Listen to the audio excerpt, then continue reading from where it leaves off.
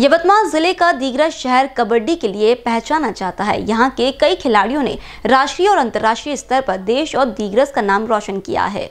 वैसे तो आज भी शहर के विभिन्न मैदानों पर कबड्डी खिलाड़ी कबड्डी खेल का अभ्यास करते नज़र आते हैं।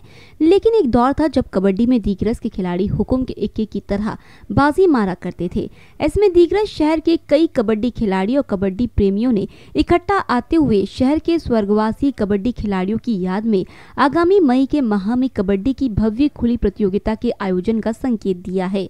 यही वजह है की कबड्डी को जुनून की हद तक प्यार करने वाले कबड्डी खिलाड़ियों ने आगामी संभाव्य खुली कबड्डी प्रतियोगिता के मद्देनजर जमकर मैदानों पर प्रैक्टिस शुरू कर दी है। कबड्डी प्रतियोगिता के आयोजन को लेकर युवा खिलाड़ियों में काफ़ी उत्साह नज़र आ रहा है। इस बारे में उन्होंने इन बीसीएन न्यूज़ से बात कर अपनी खुशी का इजहार किया है।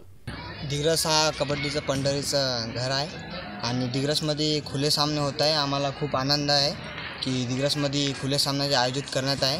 आणि आम्हाला खूप अपेक्षा आहे की आणखी समोर असेच खुले सामने कबड्डीचे असे सामने होणार होण होत असल्यामुळे आम्हाला सर्वांना आनंद आहे त्या होत होत आहे म्हणून. आणि अशीच आमची अपेक्षा सर्वांची आहे कबड्डी खेळाडूंची की समोर असंच दिग्रसमध्ये होत राहावं आणि असंच आम्हाला आनंद होत राहावं असं अपेक्षा आहे. बहरहाल, आगामी मई के माह में होने जा रहे कबड्डी प्रतियोगिता को लेकर दीगरज शहर के मैदानों में कबड्डी कबड्डी की सदा गूंज उठी है। उम्मीद है कि इसी तरह के आयोजन से एक बार फिर कबड्डी के खेल क्षेत्र में दीगरज शहर अपनी शोहरत का परचम दोबारा लहराएगा।